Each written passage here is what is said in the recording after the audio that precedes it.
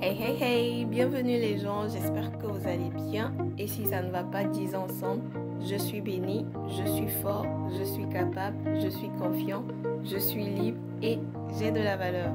Donc dans cette vidéo, je vous montre une recette nourrissante, mais vraiment hyper nourrissante pour les cheveux. Donc c'est fait à base d'avocat, de patates douces, de thé noir, de miel et de beurre de karité. Donc l'eau que vous voyez là-bas,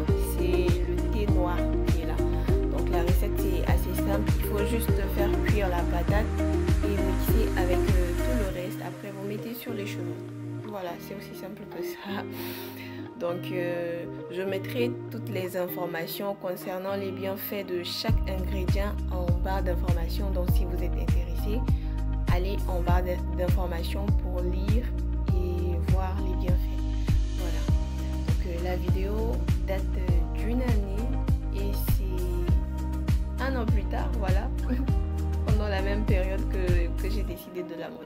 C'est pas très très joli, mais bon, c'est c'est la recette qui compte, c'est l'essentiel. J'espère que la vidéo vous plaira.